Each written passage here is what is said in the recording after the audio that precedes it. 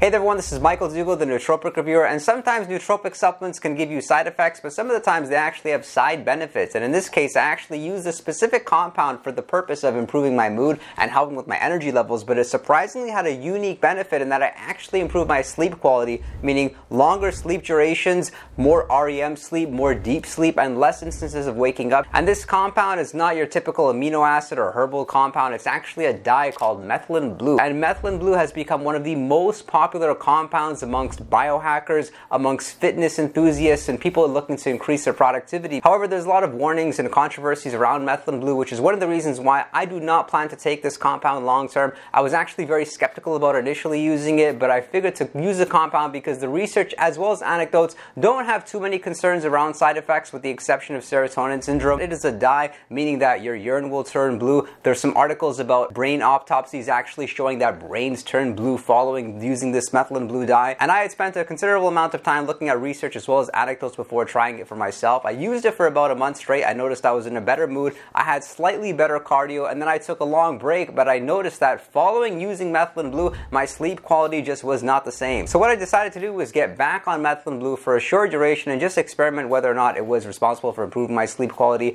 And at the same time, I abandoned the typical nootropic supplements that I would use for sleep, including magnesium L-threonate. I also like Shoden ashwagandha. There's some good research backing that. And I strictly use methylene blue at a serving size of 50 milligrams to 100 milligrams once per day. I found that it doesn't really matter when during the day you take it. Surprisingly, methylene blue actually worked like magic. I even experimented with using methylene blue on a cutting diet. What happens is during a cutting diet is that you have to decrease your calories, and as a result of decreasing calories, often you have to decrease your carbohydrates. And when you decrease your carbohydrates, you have less circulating serotonin. This is one of the reasons why, for people to improve their sleep quality, often they'll take honey or they'll take a carbohydrate carbohydrate rich meal before bed. However, during a cut, you're on less calories, so your sleep quality really suffers. For me, I'm only able to sleep like six hours or so during a cutting period, and so that was one of the biggest signs that methylene blue was actually working. Was I noticed that when I was using methylene blue during a cutting period, I was still able to, if I wanted to, have eight, even nine hours of sleep. And I track my sleep on devices such as the Oura Ring. I've also got an Ultrahuman Ring. I also have an Apple Watch. And the few things that I look out for specifically, along with sleep duration,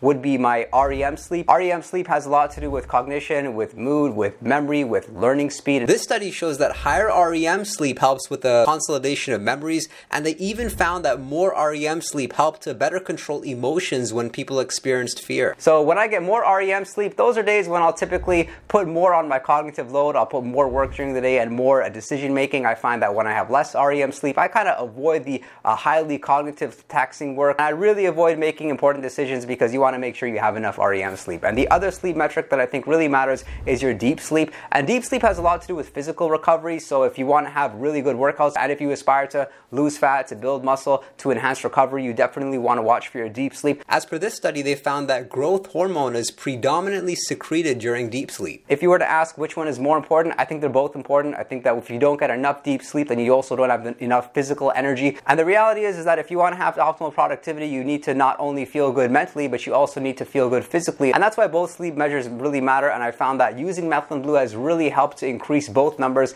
I'm able to score about two hours of REM sleep as well as two hours of deep sleep, which is a good sign for me. And these are numbers that I'm proud of as I'm usually scoring between one hour 15 minutes to one hour 30 minutes for both REM and my deep sleep. One of the areas that I've been a little bit disappointed with methylene blue has been its effects on mood. I would have expected that something that can potentially increase serotonin levels so significantly would help me to be in a better mood and would help me to tolerate stress better. And I've not really found that methylene blue is even as effective as 5-HTP. 5-HTP is another supplement that increases levels of serotonin, and I notice that when I take 5-HTP, it's like I get this instant fix of happiness. Therefore, it doesn't matter if I get a flat tire, if something bad happens in my business, it's like when you're using 5-HTP, these things don't bother you whatsoever, and it makes you more productive because you're far less likely to overthink things or your mind doesn't go through that negative spiral down to what's the worst case scenario. It actually helps you to stay focused, stay present. Just one of the issues with 5-HTP is that it does feel like you're putting a bandage over an issue. And there are certainly better ways of solving your problems like meditation, like taking a walk. And I've talked more about 5-HTP in this video over here, but I would not mix 5-HTP or anything which could potentially increase serotonin levels with methylene blue. Some of the other compounds that you may want to consider avoiding would be um, St. John's wort and rhodiola rosea. When combining too many serotonin boosting supplements, it can set you up for having too much serotonin. And when you're using methylene blue, understand that you should really not be taking it every single day for an extended period of time. This is a compound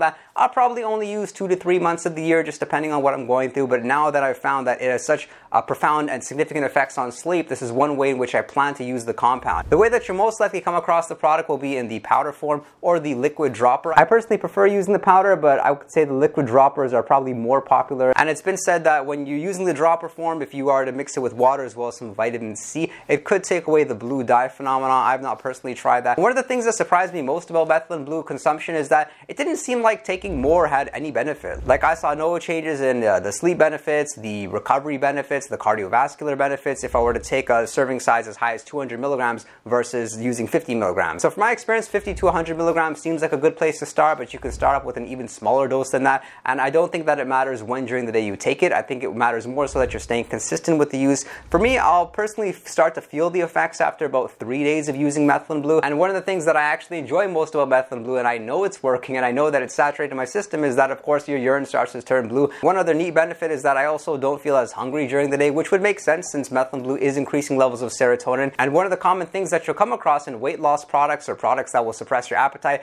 are compounds that will actually increase levels of serotonin. So this makes sense because methylene blue is doing just that. And in the event that you are going to use methylene blue every single day for an extended period, I would say that you're going to be best off cycling off the compound. You definitely don't want to build any sort of tolerance to it. When it comes to building a tolerance to compounds, I found that everyone's different at the end of the day. Like there are some compounds where I may not build a tolerance to, but other individuals may. And so I would not use methylene blue in a fashion of using it every single day for over two months. There's a couple approaches you can take when it comes to cycling the compounds. Something like two months on followed by three weeks off could be a good practice, or using it in a cycle, which isn't ideal, but uh, taking it five days on, two days off. So weekdays on, weekends off, that may work for you. I've not found that it's useful to use like methylene blue before any sort of like um, cognitively de- demanding task. And following methylene blue ingestion, don't expect to feel anything. Like it's not stimulating, it's not energizing, so that also makes it probably applicable to take before going to bed. But even if you want to get the sleep benefits like I'm getting, it doesn't matter when during the day you take it. In fact, I'm typically taking it an hour after waking up along with my pre-workout supplements. And my plan moving forward is to only use methylene blue during those periods where for some reason I'm not getting good sleep. And this happens to me, I would say every few months I go through a week or so where I just seem to not be able to sleep my normal seven hours. So I would use methylene blue during those periods. I may also consider using it during a cutting diet. Although one of the greater concerns is that we don't have much research done on methylene blue's consumption